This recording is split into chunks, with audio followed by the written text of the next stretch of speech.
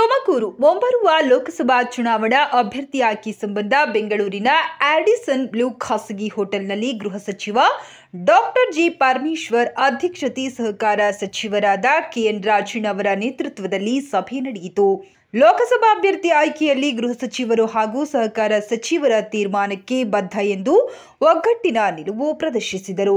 ಮಾಜಿ ಶಾಸಕ ಡಿಸಿ ಗೌರಿಶಂಕರ್, ಪಾವಗಡ ಶಾಸಕರಾದ ಎಚ್ ವಿ ವೆಂಕಟೇಶ್ ರವರು ಮಾಜಿ ಸಚಿವ ವೆಂಕಟರಮಣಪ್ಪ ದೆಹಲಿ ವಿಶೇಷ ಪ್ರತಿನಿಧಿ ಟಿಬಿ ಜಯಚಂದ್ರ ಶಾಸಕರಾದ ಷಡಕ್ಷರಿ ಗುಬಿ ಶ್ರೀನಿವಾಸ್ ರಂಗನಾಥ್ ಮಾಜಿ ಶಾಸಕರಾದ ನಿಂಗಪ್ಪ ರಫೀಕ್ ಅಹಮದ್ ಬಿಎಂಎಲ್ ಕಾಂತರಾಜು ಕಾಂಗ್ರೆಸ್ ಮುಖಂಡರಾದ ಇಕ್ಬಲ್ ಅಹಮದ್ ಜಿಲ್ಲಾಧ್ಯಕ್ಷ ಚಂದ್ರಶೇಖರ್ ಗೌಡ ಸೇರಿದಂತೆ ಹಲವು ಮುಖಂಡರು ಭಾಗವಹಿಸಿ ಸಭೆಯಲ್ಲಿ ಭಾಗವಹಿಸಿದ್ದರು. ಇದೇ ವೇಳೆ ಮಾಜಿ ಶಾಸಕ ಡಿಸಿ ಗೌರಿಶಂಕರ್, ಸಹಕಾರ ಸಚಿವ ಕೆಎನ್ ರಾಜಣ್ಣ ಹಾಗೂ ಗೃಹ ಸಚಿವ ಡಾಕ್ಟರ್ ಜಿ ಪರಮೇಶ್ವರ್ ಅವರನ್ನು ಅಭಿನಂದಿಸಿ ಲೋಕಸಭಾ ಚುನಾವಣೆಗೆ ಅಭ್ಯರ್ಥಿ ಆಯ್ಕೆಗೆ ತಾವು ಕೊಳ್ಳುವ ತೀರ್ಮಾನಕ್ಕೆ ಬದ್ಧ ಎಂದರು.